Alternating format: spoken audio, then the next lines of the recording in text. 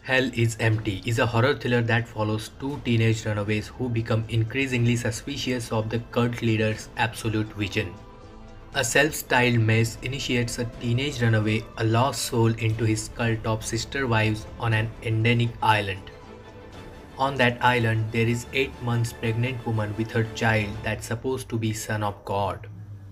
Her rebellious nature upends the community, triggering a bloody uprising against the patriarch. So this is very dark, unique and intense movie. It has good cinematography with nice performances and nice engaging story. The screenplay is slow and the tone of the movie is quite serious. So if you want to watch a serious horror thriller movie then you can give it a try. I'm going with 6 out of 10. And thank you so much guys as always for watching. Make sure to hit the subscribe button if you found this video helpful. I'll see you guys in the next one. Till then, take care, bye bye, and be safe.